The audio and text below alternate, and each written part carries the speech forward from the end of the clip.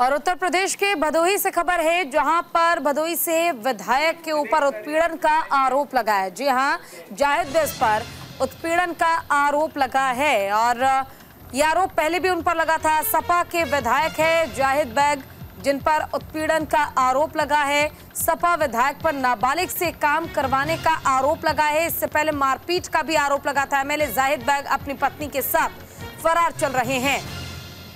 भदोई से सपा विधायक पर उत्पीड़न का केस दर्ज किया गया है। नाबालिग लड़की से काम करवाने उसके साथ मारपीट का आरोप लगा है।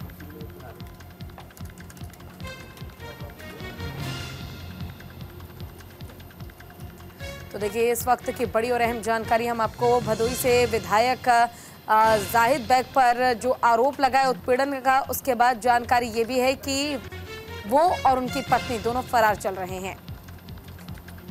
चलिए, ज़्यादा जानकारी के लिए हमारे साथ हमारे संवाददाता विवेक तिवारी इसी खबर पर जुड़ गए हैं। विवेक भदोई से विधायक जाहिद बैग पर उत्पीड़न का आरोप लगा है और आरोप लगा नहीं कि अब अपनी पत्नी के साथ फरार भी हो गए जी हाँ बिल्कुल। जाहिद बेग समाजवादी पार्टी के विधायक हैं और कुछ दिनों पहले उनके फ्लैट से एक लड़की ने खुदकुशी कर ली थी, जिसकी तफ्तीश करने के लिए जब पुलिस वहाँ पर गई उनके घर पर गई तो वहाँ पर एक नाबालिग बच्ची मिली, जिससे वो घर का काम कराते थे। उस बच्ची को जब पुलिस ने उससे पूछताछ शुरू की तो उसने बताया कि हमारे साथ उत्पीड़न किया जाता है, मारपीट की जाती है, गाली गलौज किया जाता है और ये पूरा मामला बाल श्रम कानूनों के तहत दर्ज किया गया। जो बाल श्रम के अधिकारी हैं वो भी वहाँ पर गए और लड़की की शिकायत पर एक केस उनके खिलाफ दर्ज किया गया, जिसमें उनकी पत्नी को भी शामिल किया गया था। तो उसके बाद से जाहिद बेग अपनी पत्नी के साथ फरार हैं। कल उनके बेटे को पुलिस ने हिरासत में रखा था, पूछताछ की थी कि उनके पिता और माता जी कहाँ पर हैं। लेकिन कोई जवाब नहीं मिला और उसको वो रात को 12 बजे पुलिस ने रिहा कर दिया था हिरासत से। तो फ़िलहाल की खबर यह है कि जाहिद बेग, जो समाजवादी पार्टी के विधायक हैं, एक केस में उनकर पुलिस उनकी तलाश कर रही है और वो अभी फरार हैं, पत्नी भी उनके साथ फरार है। तो पुलिस लगातार उनकी तलाश कर रही है। ठीक है, लेकिन विवेक, साथ सवाल ये भी है कि समाजवादी पार्टी के ऐसे कई विधायक या नेताओं को लेकर के इस तरीके की खबरें सामने आ रही है। उनके मुखिया बार बार ऐसे लोगों के बचाव में उतर आते हैं। लेकिन अब तक इस पर अखिलेश यादव की कोई प्रतिक्रिया सामने नहीं आई? देखिए, अखिलेश यादव की कोई प्रतिक्रिया अभी तक सामने नहीं आई है। उसकी वजह यह है कि जाहिद बेग पहले मिलें या पहले वो मीडिया के सामने आकर अपना पक्ष रखें, इसका इंतज़ार किया जा रहा है।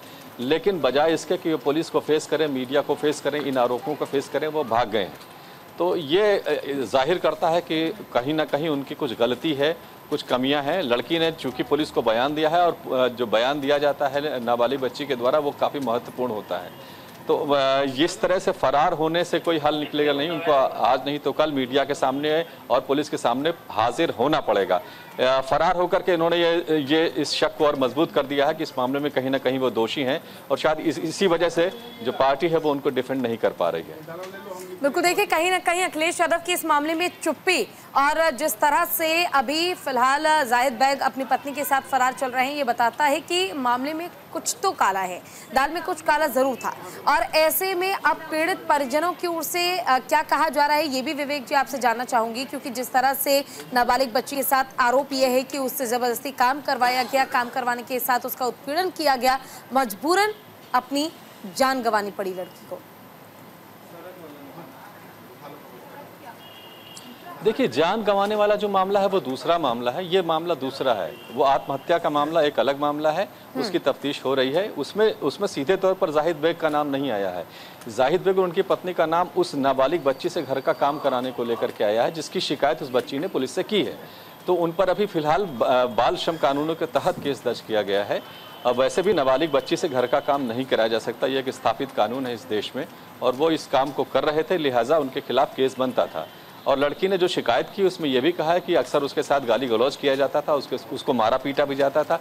तो एक तो नाबालिग बच्ची से आप काम करा रहे वही अपने आप में अपराध है। विवेक सवाल इसी वजह से यही तो बार बार उठाए जाते हैं कि समाजवादी पार्टी में इस तरीके की निर्ममता क्यों देखी जाती है विधायकों की ओर से नेताओं की ओर से? जब उन्हें पता है पहले से कि हमारे देश का कानून क्या कहता है बाल श्रम कानून क्या कहता है बावजूद इसके इस तरीके का कदम उठाना और क्या उस बच्ची के माता पिता जीवित है? और अगर जीवित है तो क्या उन्हें इस बारे में जानकारी थी कि इस तरीके से उनके बच्ची को प्रताड़ित किया जा रहा है?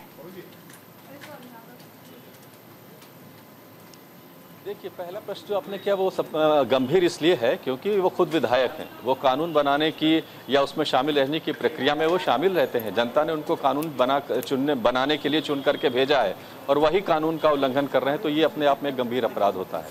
लड़की ने चूँकि शिकायत की है और ये बात जब पुलिस ने उसको वहाँ से रिकवर किया है उनके आवाज़ से, तब ये सारी बातें सामने आई हैं। तो ऐसा लगता है कि लड़की भी जो, बच्ची है वो दहशत में थी और अपनी बात नहीं कह पा रही थी। जब पुलिस ने उसको संरक्षण दिया, सहारा दिया, तब उसने ये सारे राज खोले। तो माता पिता की तरफ़ से, चूँकि लड़की ने अपने बयान दे दिया है, इसलिए इससे ज़्यादा कुछ कहने की ज़रूरत नहीं है। पुलिस का काम है कि इस जाहिद बेग से को गिरफ़्तार करे, उनको अदालत के सामने पेश करे और दूध का दूध, पानी का पानी हो। लेकिन जाहिद बेग बजाय इसके कि अदालत के सामने पेश हो, पुलिस के सामने पेश हो, वो फरार हो गए हैं। ठीक है, विवेक, बहुत धन्यवाद आपका तमाम जानकारी हम तक पहुँचाने के लिए।